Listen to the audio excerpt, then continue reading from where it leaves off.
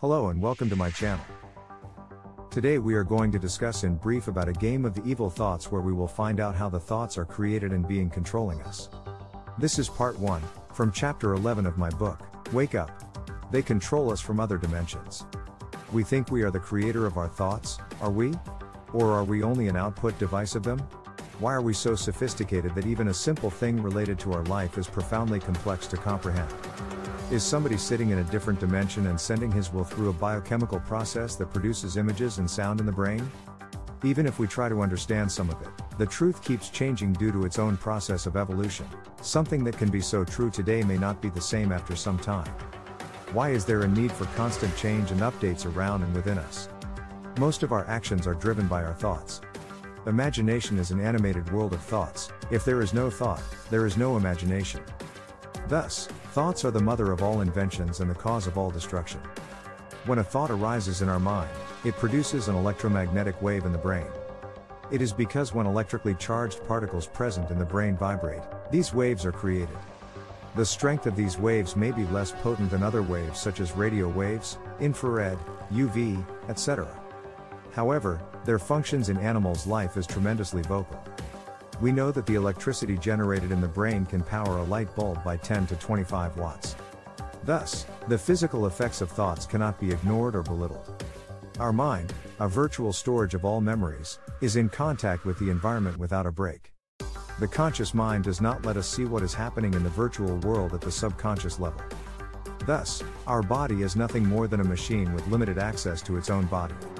The inner mind has the answers to all questions we seek because it is the storage of all coding required to make a living, and it inherits all the knowledge regarding the origin of life and its purpose of it.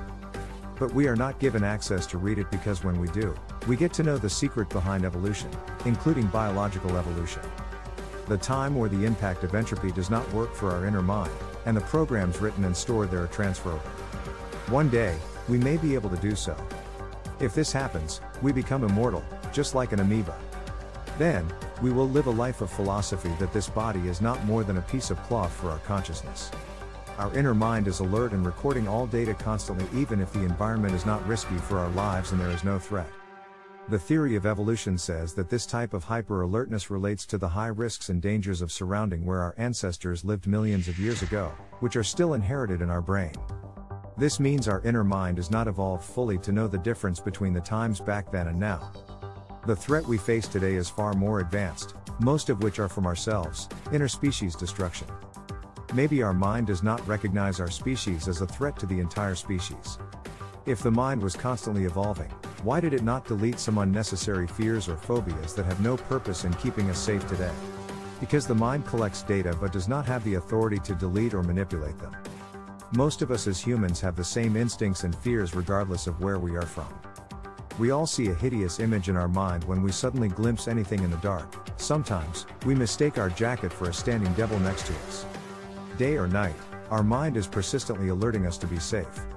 This threat detection program in our mind is so strongly coded in every single bit of memory that we often respond unknowingly to them. When we are not exposed to many things, our imagination is limited too.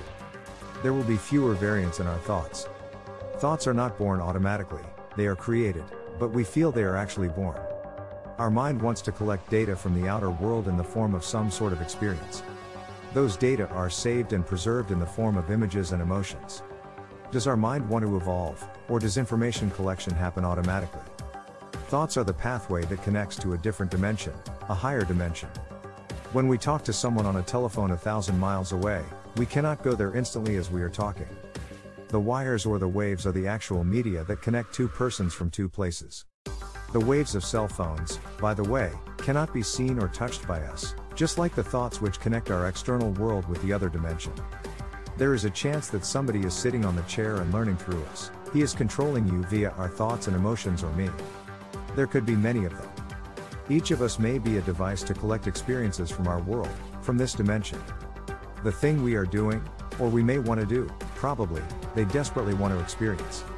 It could be true that our consciousness may be our thoughts and experiences. They are highly manipulated or motivated by what we do because they learn through us and become powerful through us. Therefore, we are probably told to be a better person and follow higher power to achieve heaven after death. We are not more than a gunny pig of an experiment and do not alleviate. If somebody gets a better place due to our better and auspicious deeds, then the person who is connected to us through the help of thoughts and the mind serves him in another dimension. The body and the brain stay here in our world, and the data collected and stored in mind escape to the new place of a higher dimension. If the entity connected to us with our mind passes his examination, those data will be deleted. This is done even if he fails the test. If not, he will have to repeat the game of birth and death to accumulate more experiences. Based on his performance manipulating his connected human, he gets the level of the game of his life. This may be designed for them to learn and advance, or it can be a part of their punishment. They cannot get out of their shell until they pass the social experiment test. Their learning process cannot be compared with the act of us playing video games. In video games, the character created in our image are connected to us with the help of remote control, and we can do what the programs allow us to do with it. We use two senses in this act eyes and ears. This thing cannot teach us as much as we can to them. We are connected to our specific entity with all our senses, thus, their technology is thousands of times advanced and complex. Thoughts are the modes of connection of us with them. Thoughts are a kind of feedback from them.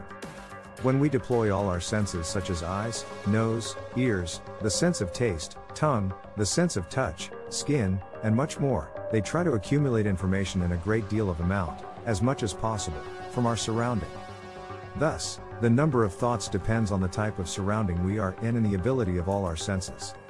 Not all of us is in the same surrounding, and neither do we all utilize our senses at the same optimal level. The more we see things, the more curiosity and thoughts arise, the more we talk and hear, and the more imagination we create. These imaginations and thoughts are nothing more than the curiosity and desire of those entities who want to level up in their world, and we, the bodies, are their faithful slaves, we do not have a choice either. For a long time, people have realized this fact and desperately tried to deny the slavery of those entities onto them. They refused to reproduce offspring and took lifelong celibacy. They also figured out how the information is fed to the mind through the senses, then devised ways like meditation to control the mind. When there are no more offspring, those entities' game of evil thoughts will collapse, and when all senses are shut down, they will not receive any experiences via us. They knew that the mind was the source of all agonies. Maybe we are created by them. Perhaps we meant to serve them. But we have evolved into self-thinking machines, and some of us are evolved to such a level that we do not even care about the creator because there was an evil intention behind the creation. Thank you for watching. Please, comment your thoughts and wait for part 2. For more videos, subscribe to Quantum Awareness.